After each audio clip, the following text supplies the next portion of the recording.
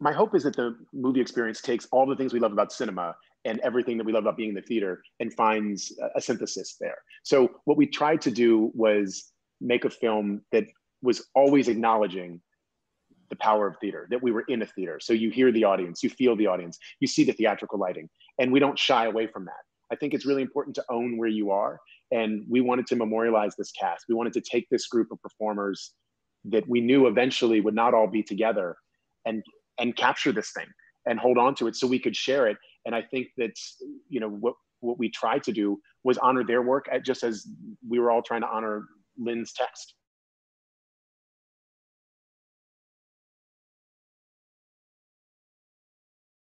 I do know that getting a chance to check in with the original company after they were able to see their work was enormously meaningful for me.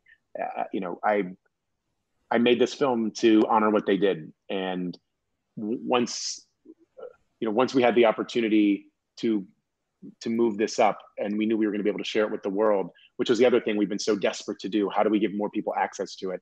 I wanted that company to see it, and now I want the you know the rest of the world to see it. So I I, I hope that that. Uh, that speaks to the you know to how that feels in in you know you know in the twilight of this day but also how much i'm anticipating july 3rd and july 4th and all the days beyond that for the movie